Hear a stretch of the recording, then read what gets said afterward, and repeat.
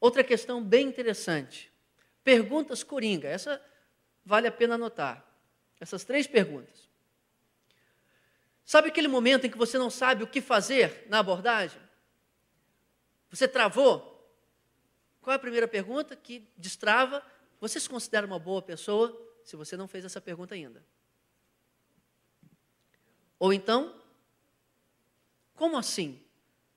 Te dá tempo para respirar. A pessoa falou uma coisa tipo: Eu acho que estou preparado porque quando eu morrer eu vou surfar pelo universo numa prancha azul prateada, sei lá. Aí você, aí na hora, o que, que eu falo agora? Como assim? Me explica um pouquinho isso aí.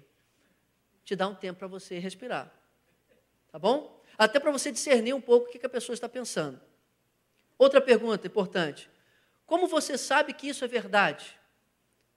Você leu em algum lugar? É alguma crença que você tem? De onde você tirou essa informação? Ela é realmente segura? E se você estiver errado? Essa é uma outra pergunta interessante. Às vezes a pessoa tem muita convicção numa coisa. E se você estiver errado? Essa pergunta é clássica. Por exemplo, eu estou aqui pregando o Evangelho, servindo a Deus.